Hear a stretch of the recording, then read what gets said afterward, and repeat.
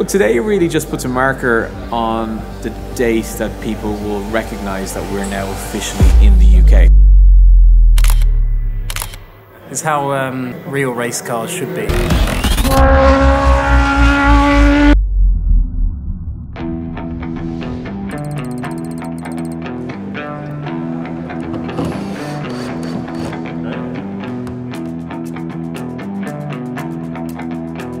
First time I've been here, so it's nice to, to finally see it. Uh, it's straight on the entry as you walk in, you see the Rodin sign, which is uh, is pretty cool. To have it at a place like this as well, um, obviously Donington's a, a, pretty iconic circuit, so it's uh, pretty cool to, to have it here.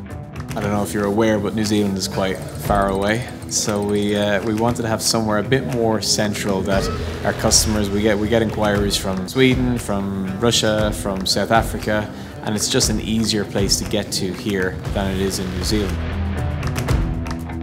So the road Rodin FZED, yeah, it's pretty exciting. It's one of those cars that, as a team, you kind of you look at it and you're not sure what to think when you first see it. I've never driven around here in real life. I've done a lot of sim racing here. Uh, I do like the track a lot. Uh, I think we get to do the full circuit as well today, so it'll be finally nice to drive such an iconic circuit.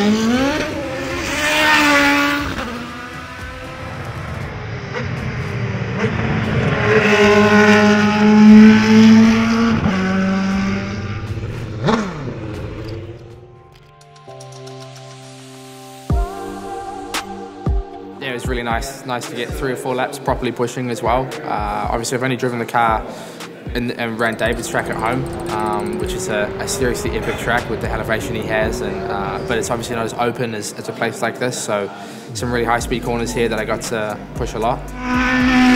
Um, and it was really, really good. I, I, actually really enjoyed it. I wanted to keep going. We only had a couple of laps we were allowed to do. So uh, I was going to ignore it and keep going, but I didn't want to get in trouble car sounds amazing. I mean, I'm standing around talking to everybody, and everybody has to mention that it's nice to hear a real engine on track, to hear it like in the in the background as it goes down the straight and everything. So, so from that point of view, it's amazing, and it's just nice that we're based at Donington and we finally just get to run the car out there on the track. So we're really happy about it.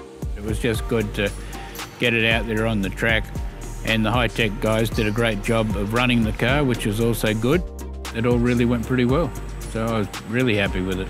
It's one of those odd things that obviously the car's been shipped from New Zealand. We sort of, you know, did our checks this morning, put it on track, and it is great to see it go round. And also, you know, the smile on Liam's face sort of says it all, really. And I think, you know, everyone knows when you watch F1, everyone's complaining about the sound of engines and things like that. But it's great hearing a real car again with a real engine in the back